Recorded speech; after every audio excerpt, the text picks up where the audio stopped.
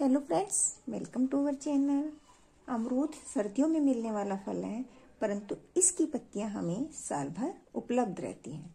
जितनी पौष्टिकता अमरूद में है, उतनी ही पौष्टिकता इसकी पत्तियों में भी है। इनमें अच्छी मात्रा में विटामिन सी होता है, साथ ही एंटीबैक्टीरियल टेनिन और यूजिनोल जैसे तत्व भी पाए जाते हैं, जिसके कारण अमरूद की पत्तियाँ पेन रिलीफ का काम भी करती हैं। मैं आपको अमरूद की पत्तियों की चाय के कुछ लाभ बता रही हूँ। नंबर वन अमरूद की पत्तियाँ हमारे कोलेस्ट्रोल लेवल को कम करती हैं। यदि हम तीन महीने इसकी चाय पिए तो हमारा बैड कोलेस्ट्रोल कम होता है और गुड कोलेस्ट्रोल बढ़ता है। नंबर टू डेंगू फीवर में भी अमरूद की पत्तियों की चाय फ़ायदेमंद रहती है। इससे मरीज़ की प्लेटलेट्स बढ़ती हैं।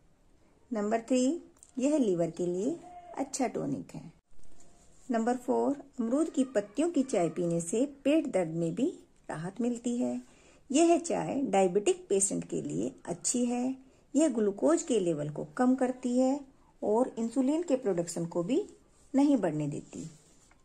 इसे बनाने के लिए एक भिगोने में सवा कप पानी लेकर धुली हुई दो अमरूद की पत्तियाँ छोटे छोटे पीस करके डाल लें। फिर इस पानी को धीमी आँच पर अच्छे से पाँच मिनट तक पकाएँ। फिर इसे दो मिनट के लिए ढक कर रख दें। फिर इसे छान कर इसे या तो ऐसे ही पिए या फिर इसमें शहद डाल लें। यह चाय गर्भवती महिला को नहीं देनी है।